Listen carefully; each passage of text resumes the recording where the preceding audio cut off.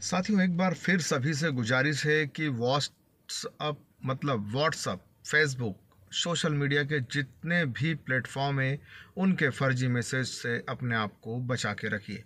कई ऐसी fake news चल रही है, जिससे आप लोग गुमराह हो रहे हैं और अपना इलाज नहीं करा पा रहे हैं। यही वजह है कि इलाज नहीं मिलने के चक्कर में आपकी जान जा रही है।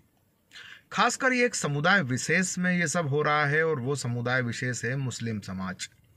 मुस्लिम समाज में इतनी भ्रांतियाँ, इतनी ज़्यादा फैल चुकी है, जिससे रोक पाना काफ़ी मुश्किल है।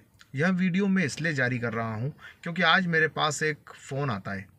एक समझदार व्यक्ति का फ़ोन आता है मतलब वो एक पत्रकार है।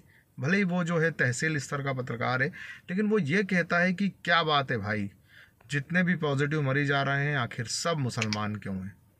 तो मैं आपको वही बता रहा हूँ कि मुसलमान इसलिए हैं कि हमने लापरवाही बरती।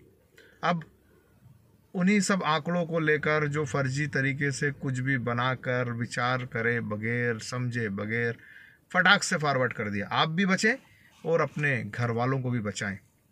आपको अपने समाज का सुधार खुद करना होगा।